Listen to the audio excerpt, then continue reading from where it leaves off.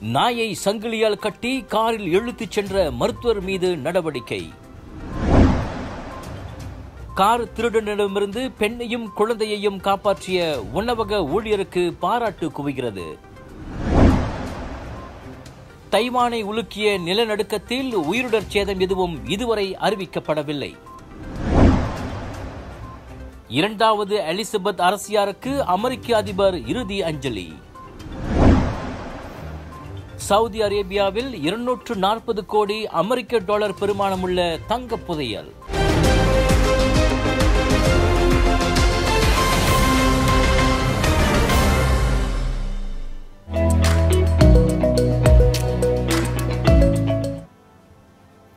வணக்கம். சீனா படையெடுப்பு நடத்தினால் தைவானை அமெரிக்க படைகள் தற்காக்கும் என அதன் அதிபர் ஜோ பைடன் தெரிவித்தார்.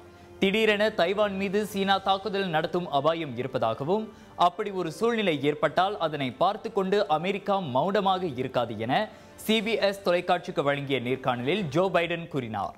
தைவான் விவகாரத்தில் சீனா அத்துமீறினால் அதற்கு ராணுவ ரீதியில் அமெரிக்கா பதிலடி கொடுக்கும் என ஜோ பைடன் முதல் முறையாக திட்டவட்டமாக தெரிவித்துள்ளார்.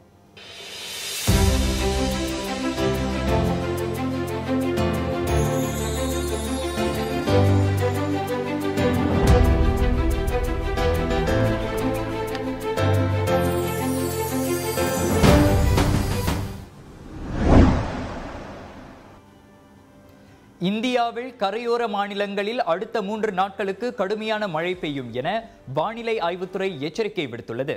ஒடிசா ஆந்திர பிரதேசம் தெலுங்கானா அசாம் மற்றும் மேகாலயாவில் செப்டம்பர் இருபத்தோராம் தேதி மழை பெய்யும் என அறிவிக்கப்பட்டுள்ளது. இதனால் பல இடங்களில் வெள்ளம் ஏற்படும் சூழ்நிலை இருப்பதாகவும் பொதுமக்களுக்கு எச்சரிக்கப்பட்டுள்ளது. காலம் சென்ற பிரிட்டனின் இரண்டாவது எலிசபெத் அரசியாரின் உடலுக்கு அமெரிக்க அதிபர் ஜோ பைடன் இறுதி அஞ்சலி செலுத்தினார். அரசியாரின் நல்லுடல் இன்று நல்லடக்கம் செய்யப்பட உள்ளது அதனைத் தொடர்ந்து பிரிட்டன் மக்களுடன் உலக நாடுகளின் தலைவர்களும் அரசியாருக்கு இறுதி மரியாதை செலுத்துகின்றனர். உள்நாட்டு நேரப்படி இரவு மணி எட்டுக்கு நாடு முழுவதும் உள்ள மக்கள் ஒரு சேர ஒரு நிமிடம் அரசியாருக்கு மௌன அஞ்சலி செலுத்தினர். உலகில் மிக நீண்ட காலம் அரியணை அமர்ந்த ஒரே முடியாட்சியாளராக இரண்டாவது எலிசபெத் அரசியார் திகழ்கிறார். இன்று மாலை அரசியாரின் நல்லுடல் வின்சரில் அடக்கம் செய்யப்பட உள்ளது அரசியாரின் வருகைக்காக வின்சர் அரண்மனைக்கு வெளியே திரளான மக்கள் காத்திருக்கின்றனர். எழுபது ஆண்டுகள் தங்களுக்கு வாழ்வளித்த அரசியாரின் சவப்பெட்டியை இறுதி ஒருமுறையாவது பார்த்துவிட வேண்டும் என அவர்களில் சிலர் தெரிவித்தனர்.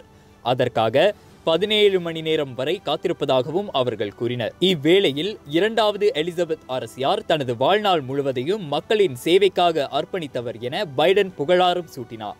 அவரை பிரிட்டன் மக்கள் மட்டுமின்றி உலக தலைவர்களாலும் ஒருபோதும் மறக்க முடியாது என்றார் அவர். அரசியாரின் உடல் கிடத்தப்பட்டிருக்கும் சவப்பெட்டியை இறுதி ஒருமுறையாவது பார்த்துவிடும் ஆவலில் எட்டு கிலோமீட்டர் தூரம் வரை மக்கள் வரிசையில் காத்திருக்கின்றனர். தைவானை ஆறு புள்ளி எட்டு மேக்னிடியூட்டாக பதிவான வலுவான நிலநடுக்கம் உலுக்கியதில் மூன்று மாடி கட்டடம் ஒன்று இடிந்து விழுந்தது. ரயில் ஒன்று தண்டவாளத்தை விட்டு விலகி விபத்துக்குள்ளானது. எனினும் அவ்விரு சம்பவங்களிலும் இதுவரை உயிருடர் சேதம் எதுவும் அறிவிக்கப்படவில்லை. இடிந்து விழுந்த கட்டட இடிபாடுகளில் சிக்கிக்கொண்ட அதன் எழுபது வயது உரிமையாளரும் அவரது மனைவியும் பாதுகாப்பாக மீட்கப்பட்டனர்.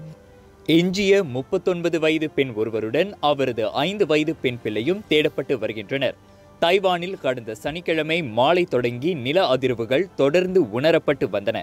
அதனை அடுத்து நேற்று சிஷாங் எனுமிடத்தில் ஏழு கிலோமீட்டர் ஆழத்தில் மையமிட்டிருந்த நிலநடுக்கம் உலுக்கியது.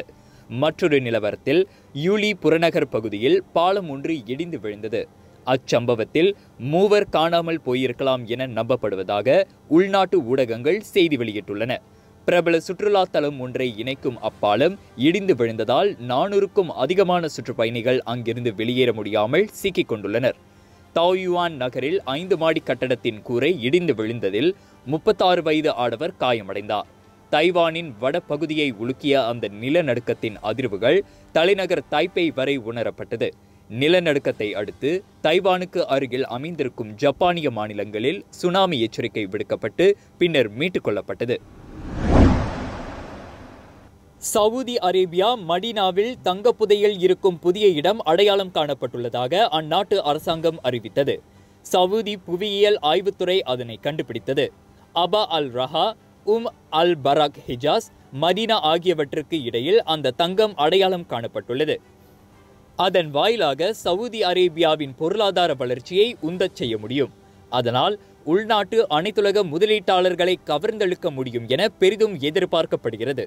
அதோடு அந்நாட்டின் ஈராயிரத்து முப்பதாம் ஆண்டு திட்டமிடப்பட்டுள்ள தூரநோக்கு இலக்கையும் நாட்டின் பொருளாதார மேம்பாட்டையும் விரைந்து அடைந்துவிட முடியும் எனவும் நம்பப்படுகிறது.